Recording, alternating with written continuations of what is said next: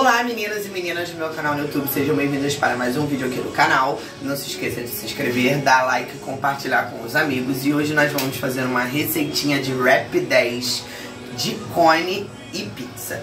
Então vamos lá para os ingredientes. A gente vai precisar de um Rap 10 Eu comprei o original, tá? Que eu acho mais suculento do que o outro. Vamos precisar também de azeite para untar a forma Requeijão cremoso, uma fatia de mussarela e outra de cheddar é, Tomate e cebola então, vamos lá para essa receitinha super fácil. É, vamos começar pela montagem do cone, tá? É o seguinte, a gente vai dobrar essa tortilha ao meio, tá? Você mede aí direitinho, marca, abre, e aí a gente agora vai cortar, ó, ela até a metade. Assim, dessa forma, tá? E aí agora o que, que a gente vai fazer? A gente vai passar o requeijão cremoso aqui, tá? Então a gente espalha bem. Aqui, ó.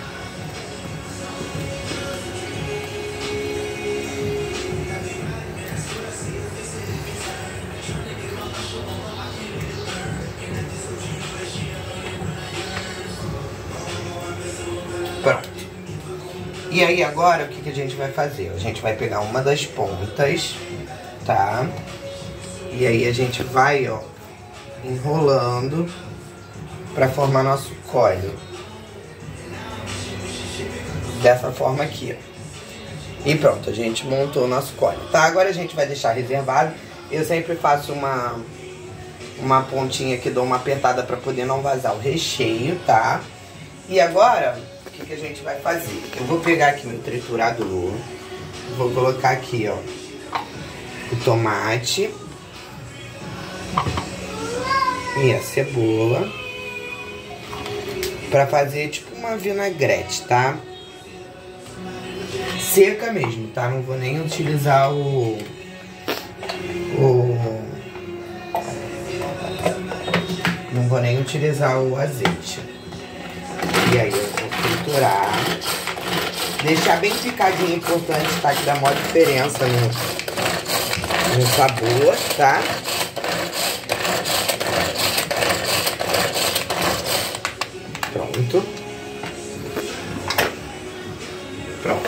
Fica assim, ó.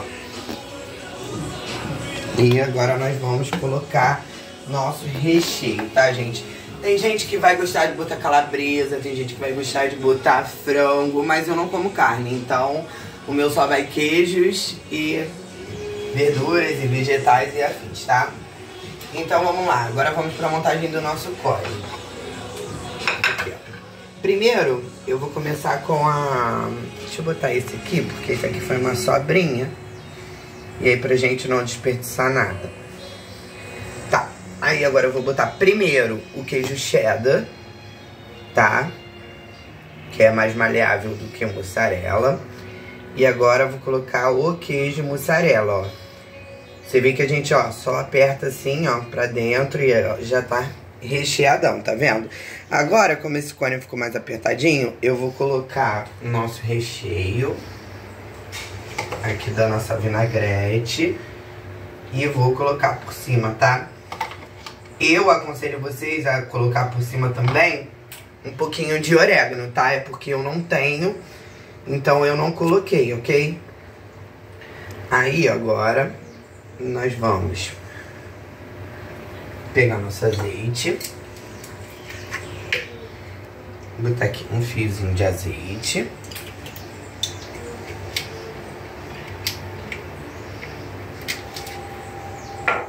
E com o auxílio de um papel toalha,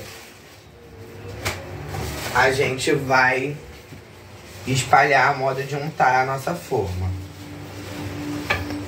Tá? E lembrando que ao tempo que a gente está fazendo isso aqui, o nosso forno também ele já tá pré-aquecido a 200 graus, tá? Pelo menos uns 15 minutinhos. Que é o tempo também que vai ficar o nosso wrap lá dentro do forno. Não deixa de untar, tá, galera? E aí, agora, a gente vai encostar nossos cones aqui. Deixa eu botar um pouquinho mais de recheio.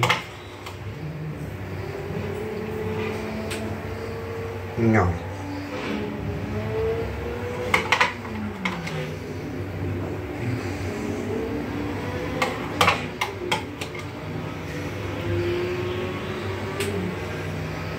Eles já estão bem pesadinhos. Aqui. E assim a gente vai... Pronto. Agora deixa eu só apertar aqui o fundinho de algum deles, tá? Que é pra não sair o recheio. E agora eu vou levar ao forno. E assim que estiver pronto eu volto pra poder mostrar pra vocês. Então, galerinha, voltamos. Já tiramos o nosso wrap do fogo. E ó, agora com o auxílio aqui de uma espátula e um garfo, ó, que eles estão muito quentes, eu vou estar tá passando aqui pra esse prato. Ó, todos os nossos quatro wraps que eu montei. Ó. Ele fica bem assadinho assim, é uma delícia. O queijinho derretendo. Com aquela vinagretezinha que a gente fez, ó.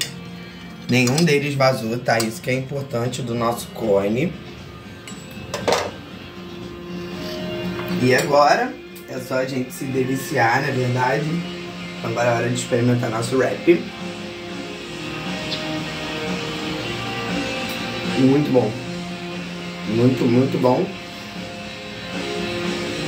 E aí, orégano e azeite a gosto. Espero que vocês tenham gostado. Dê like, compartilhe, se inscreva no canal.